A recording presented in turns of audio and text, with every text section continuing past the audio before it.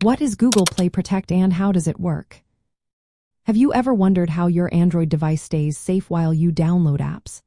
Let's talk about Google Play Protect and how it keeps your device secure. Google Play Protect is a built-in security feature that helps protect your Android device and apps from malware and other security threats. It works on apps downloaded from the Google Play Store and those installed from other sources. This feature adds an extra layer of safety when you install and use apps on your device. One of the main functions of Google Play Protect is app scanning. It continuously checks apps for potentially harmful behavior. This means that whether you are downloading an app from the Google Play Store or installing one from a third-party source, Google Play Protect is working in the background to keep you safe. It provides real-time protection against malware, so you can feel more secure about your app choices. Another important aspect is security updates.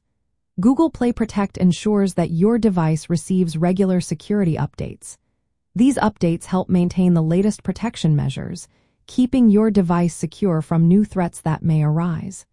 Additionally, when you use the Chrome browser, Google Play Protect helps shield your device from potentially harmful websites. If you ever misplace your Android device, Google Play Protect has a feature called Find My Device. This allows you to locate, lock, or erase your device if it is lost or stolen. This feature is essential for protecting your personal data. Furthermore, Google Play Protect sends privacy alerts about apps that may access sensitive information without proper disclosure, helping you stay informed about your privacy. So, how does Google Play Protect actually work? It runs in the background, constantly scanning apps for malware and other security threats.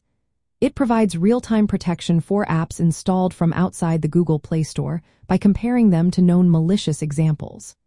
If a potentially harmful app is detected, you will receive an alert, and in some cases, the app may be automatically removed from your device. When you install apps from the Google Play Store, Google Play Protect checks them for safety before you download. For apps from other sources, it scans them in real time to ensure they do not pose a threat. This feature is especially useful for developers who may need to test apps not yet available on the Google Play Store. They can temporarily disable Google Play Protect to install and test these apps securely. While it is best to keep Google Play Protect enabled for maximum security, there may be times when you need to disable it temporarily. For example, if you are testing new apps or installing from trusted unofficial sources, you can go to the Google Play Store app, access the Play Protect settings, and toggle off the option to scan apps with Play Protect. Just remember to re-enable it afterward to keep your device secure. In summary, Google Play Protect is a vital feature that helps keep your Android device safe. By scanning apps, providing security updates, and offering privacy alerts, it ensures a safer experience when installing and using apps.